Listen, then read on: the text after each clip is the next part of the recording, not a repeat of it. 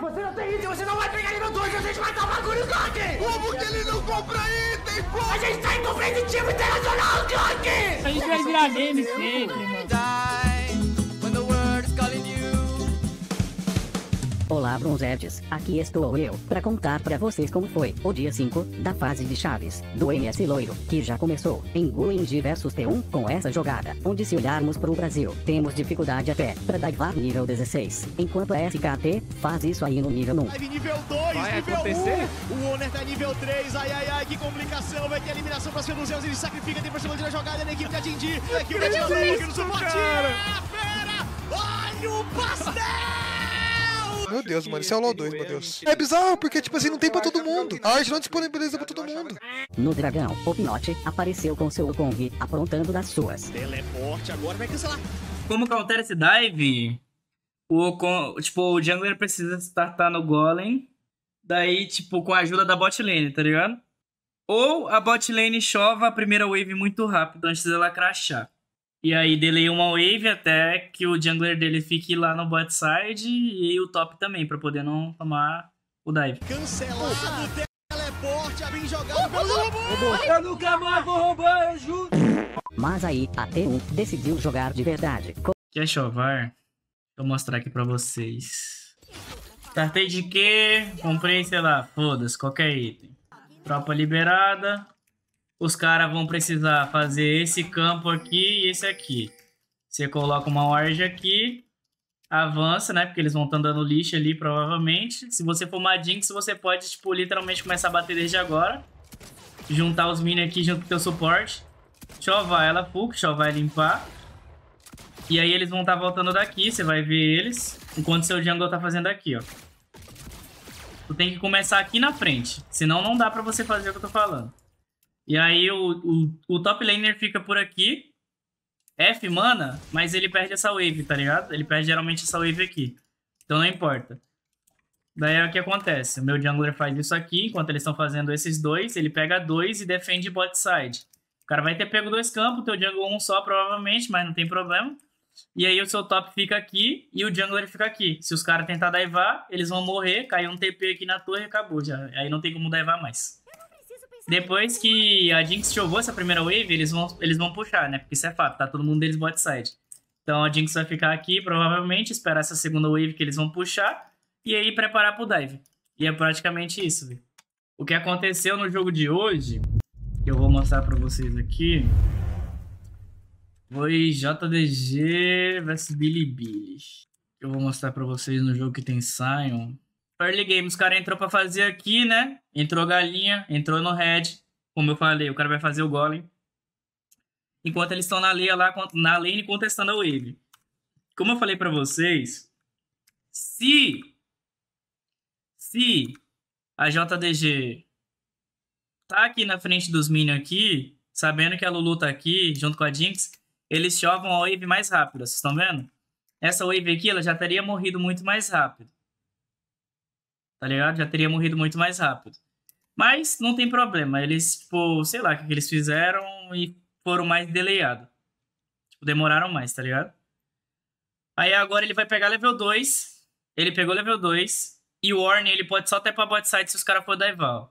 Então os caras não vão daivar. Porque se os caras daivar, vai cair o, TP do Orne e eles vão proteger 4v4. E aí não tem problema. Por quê? O Orne vai pegar level 2 agora e o Bin vai estar tá level 1. Então se ele daivar, ó, contra level 2 e level 1, vai dar merda. Porque o cara pode upar o E. Então é assim que você defende essa parada do Sion. Se você não souber defender dessa forma, você vai tomar. Porque da, contra, da SKT, vocês lembram que na explicação passada, o jungler da JDG startou no, no Golem, né? Vocês lembram disso? Se o jungler do Blue Side não startar no Golem, vai acontecer isso aqui, ó. Não importa se o top dos caras tá aqui. Ainda é uma situação de 4v3, o Sion se mata e não tem problema. Sion começa a tancar, se mata, uma kill já pra pop, e aí depois o Sion vai lá morto e troca kill com o cara. Foi worth pra caralho, tá ligado? Então, se você quiser defender dessa forma, Você vai ter que guivar alguns minions de qualquer forma, porque não tem defesa pra isso aqui, se você realmente não faz o que a JDG fez. Que é uma play, tipo, mano, não importa se você tá vendo os caras, tá ligado? Eles vão conseguir fazer, não tem importância.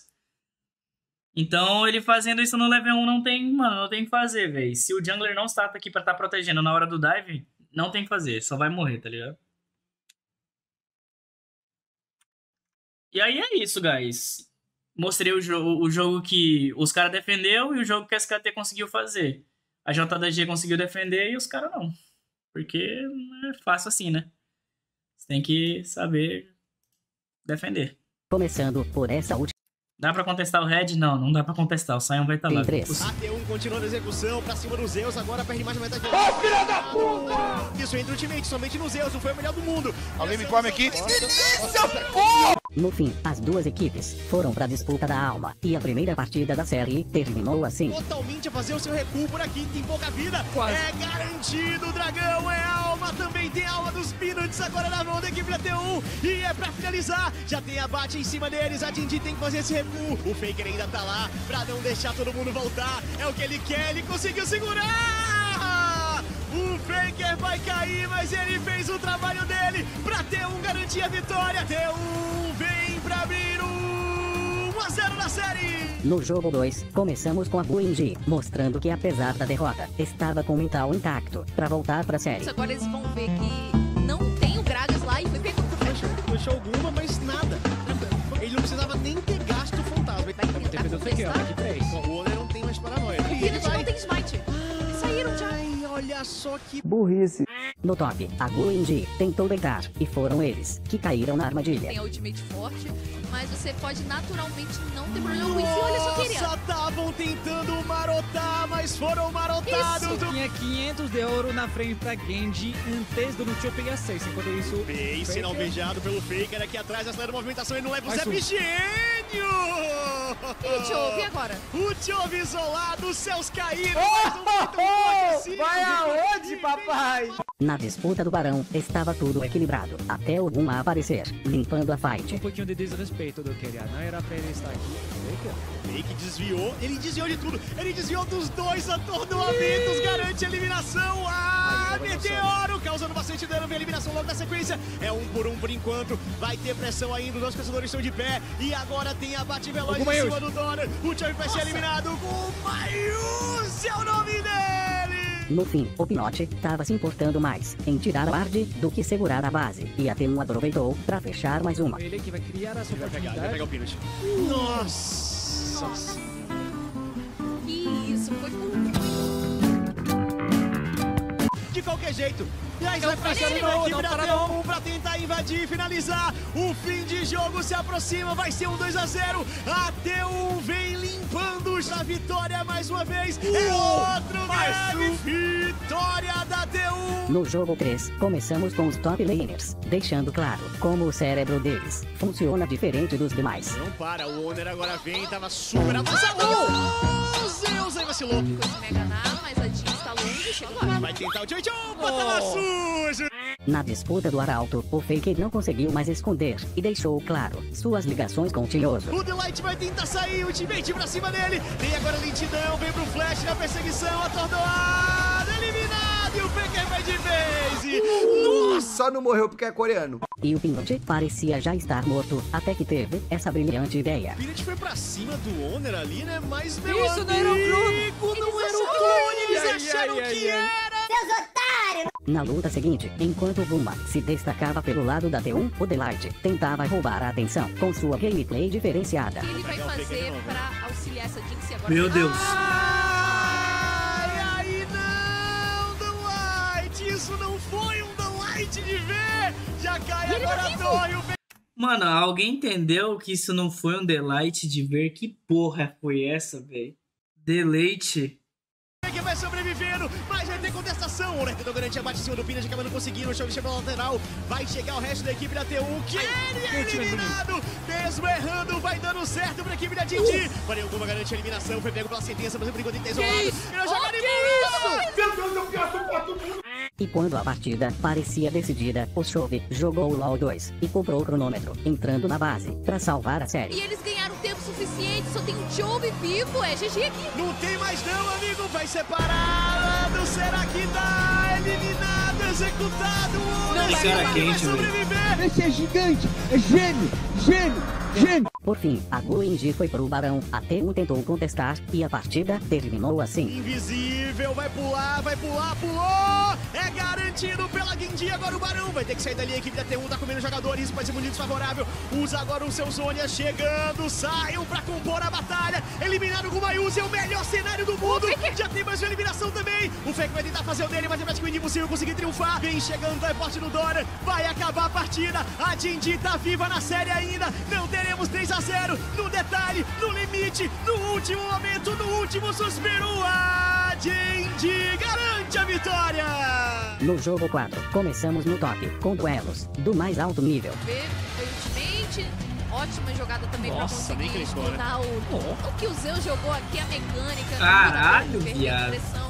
Mas mesmo assim ele Ih, depois dragão solado? Zeus não tem mana, Será que vai mas trocar o a solada? Dorian tinha, amigo, e tem flash, o Zeus que não tem! Dê saúde pra me dar KS, velho. No mid, o velho, mais uma vez, apelava a entidades espirituais pra conseguir sair dessa. Mano, tô com soninho, velho. Ai, ai, ai! Tô com Ele soninho demais, velho. pra flechar, e aí, Faker, ele flecha pra esconder o gol! Ele saiu, ele saiu. que não! Olha isso. Em seguida, quando parecia que a Jinx ia ser pega, ela usou uns Zônias pra sair de tudo e virar a luta. A T1 vai recuando, chegam nos Zeus, vão tentar o reengage. Vai Bora, todo para de Dindi, pai. Enquanto que tá liberado, o Willis vai bater. Pode ser efetivo, mas virou muito bem a Dindi na devolução, meus amigos. Vai sendo devastada e a T1 não tem nem chance de clicar. No fim, a SK Títulos ainda tentava se segurar, mas Ficou a virado Gui pra ver o game hoje cedo? Não, eu dormi cedo. Aí eu vi o jogo de manhã. Aí eu capotei, mano, tô G não cansado. quis nem saber E amanhã eu tenho um treino, tudo pro jogo 5. Vai sobrevivendo, mas ele pode ser eliminado agora, porque tem Faker pela lateral. Ele consegue em cima do base. Mesmo assim, não tem eliminação. Vai ter eliminação a favor da Dindi. Agora é pra acabar. Já perde o Gumayuzi. Cai mais três. Dindi vem pro empate e leva pro decisivo jogo.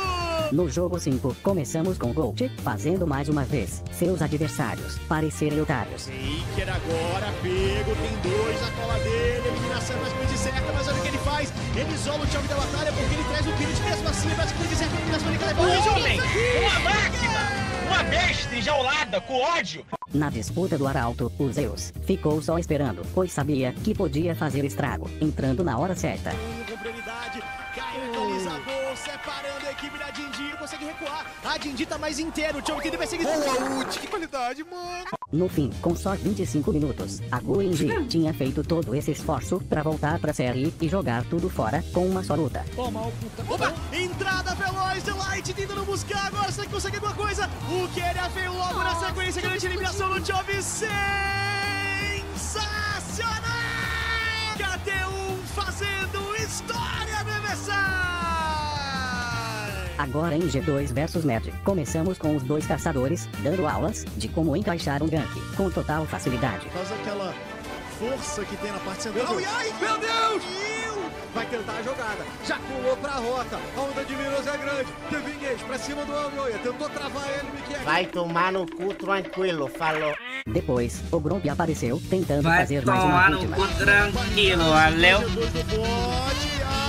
Olha o Gromp de novo, mano. Olha o grupo! Solado! No Dragão, a luta estava muito disputada, até o Katze usar seu flash de forma inesperada. O objetivo tá quase feito, Broken Blade vai ajudando, o Yak garante o dragão, Miquel consegue jogar todo mundo pro alto, para a galera da Mets por muito tempo, a entrada é muito forte, já foram dois abates, mas Broken Blade acaba sendo eliminado, o Caps vai saindo. Muito durinho de AD, mano. Parece que tá com tijolo no mouse. No fim, a G2 varreu o chão com o time da Mad e abriu a série com vitória. Retirada, mas o próprio Hansama estoura pra cima do Chase. Ele já foi eliminado, não deu tempo de transformar. O Elioia ficou pra trás também, é batido. Lá atrás fica o Broken Blade dançando pra um lado e pro outro. Pelo teammate, ele morre. Dá um GG. Vitória da D2. No jogo 2, começamos com o Gruntar, esquecendo que o microfone ainda estava aberto. O Med vem fechando, só que Nick, Nick, Nick, desculpa, tá sendo, sendo Nick. perseguido pelo Caps. Cara, me enrolei todo. No top,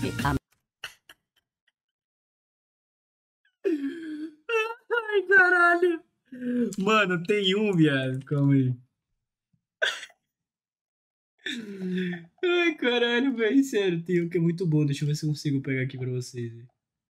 Eles estão puxando a, a porra da, da Wave. Ai, isso aqui é muito ruim, é sério mesmo. Ai, Bia, você é louco, velho. Felicidade.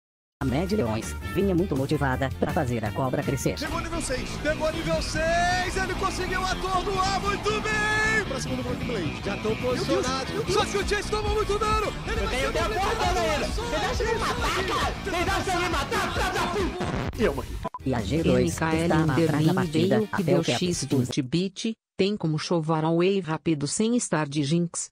Ou alguma outra maneira de contestar o div do Sion NV1 no bot? Zaya geralmente puxa. Jinx puxa. Kai'Sa puxa. Mas Kai'Sa caso não tá pegando. A Félix não puxa nem fudendo, mano. Caitlyn puxa. EZ talvez. É que, tipo, mano, é difícil, tá ligado? De você defender se não tiver todo mundo lá no bot mesmo. Zaro pistou o bufado para ir parar na cara do Afélios Fidado e virar a partida. Se posiciona, Matt saiu do covil, eles querem brigar, Cap se jogou no meio de todo mundo, mas o Broken Blade chegou muito bem, travou a galera da Mad, meio E virar a partida. Se posiciona, Matt saiu do covil, eles querem brigar, Cap se jogou no meio Caralho. de todo mundo, mas o Broken Blade chegou muito bem, travou a galera da Mad, que vai sendo obliterada! Cara, só tem animal no meu time, brother! É só gritar GG! Cara, só tem animal no meu time, brother! É só gritar GG! Vitória da G2! No jogo 3, começamos com Braum, dando a vida para tentar carregar solo. Dois abates, corrida sempre não para. Esse cara, ele é chato, ele quer parar o recalque pra garantir o tempo do mapa, mas ainda assim chama a chegada melhor ainda. Eles subiram dois abates no mapa, né? Ô, professor! Não mata, que não mata, que não mata! Vai queimando! Você foi solado, moleque! Vida, o Caps tá se complicando, o Aranha tá muito perto. O Caps vem fechando, ele quer buscar a proteção da torre, quer acertar o... Vai ficar correndo mente agora, pô? Se você tira, mano. Vai ter sim, como é que não vai ter? Que não vai ter? Que não vai ter o quê? Como é que... Muito feio, filho! Muito feio jogando, meu Deus! No bot, a Ari podia ter saído viva se a G2 não tivesse guardado um presentão pra ela. Sangue já era, G2 pescou ele. Agora o Caps consegue ancorar o Niski. Caps não pode avançar, teve que sair do encanto. O Elroya vem.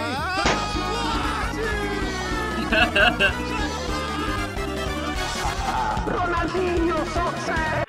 No fim, a Sede Lions provou ser talvez um adversário à altura do Brasil, mas não deram conta da G2, que levou a série. Eles têm uma performance que é complicada e olha esse olhar. Acharam o Broken Blade, só que ele desconta e desconta muito bem o El Yoya. Vai sendo detonado, o Nisk brilhou. El Yoya já era, o Nisk vai escapando do jeito que pode. Ele segue tenta defender ele, por enquanto vai funcionando. O problema é que a G2 é implacável, meu amigo. Brinca e brinca muito até o GG. Vitória da G2. Esse foi mais um MS Loiro da Zoeira. Falou com Zetes. Até o próximo vídeo, com muito mais jogos. Porém agora, é melhor todo mundo sair da frente, pois o trem bala da SKT está passando.